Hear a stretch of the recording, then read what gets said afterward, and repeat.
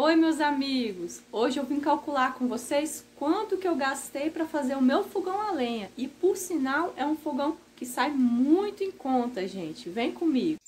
Vou passar para vocês os valores que eu gastei, para vocês fazerem uma média aí, né, os valores vai de acordo com o valor daí da sua região.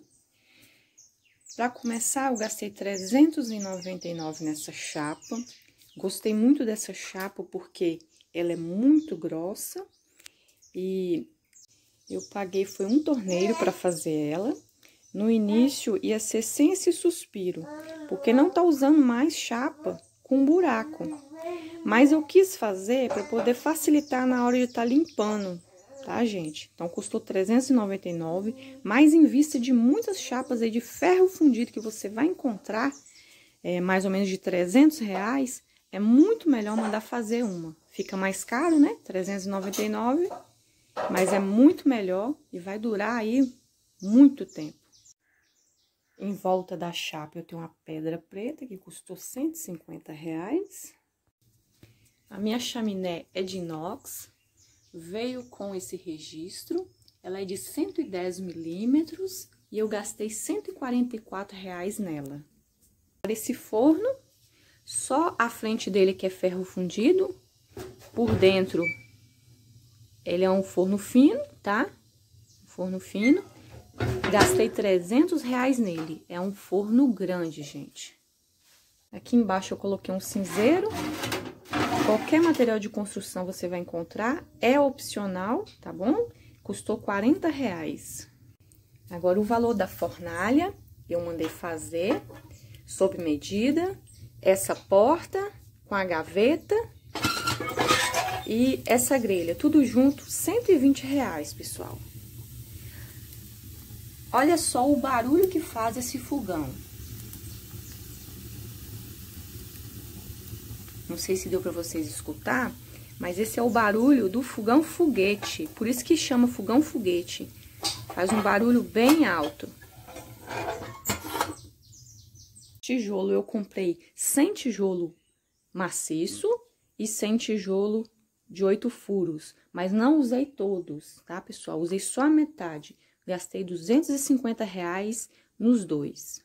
Nesse fogão só usei tijolo comum, não usei nenhum refratário. Gastei também um saco de cimento de 28 reais, uma argamassa refratária de 20 reais, que foi para assentar as cerâmicas, tá? Cerâmica de revestimento, eu gastei uma caixa, é a mesma que eu tinha na parede aqui já.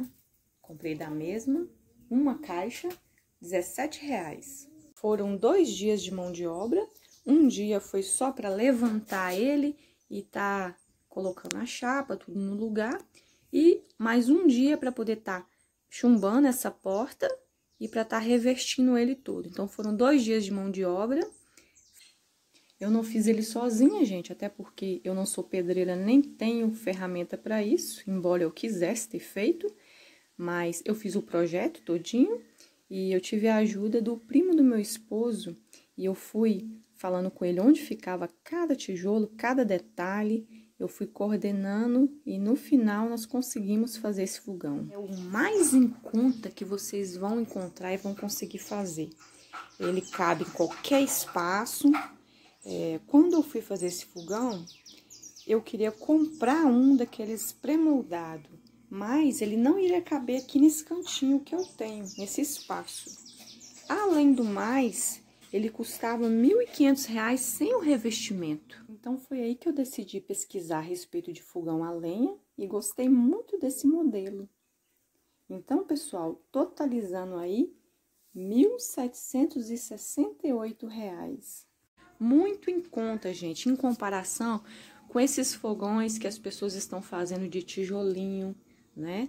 E também vai depender muito de quanto você vai gastar. Se você vai colocar fornalha desse jeito, se você vai pôr um forno menor, a qualidade da chapa que você quer colocar vai depender muito, mas esse fogão é muito bom, cabe em qualquer espaço, você pode estar fazendo na cidade também, porque ele gasta pouca lenha, não tem fumaça, pessoal. Ele é muito bom mesmo, super recomendo ele. Se você gostou desse vídeo, já deixa um like, se inscreve no canal e até o próximo vídeo.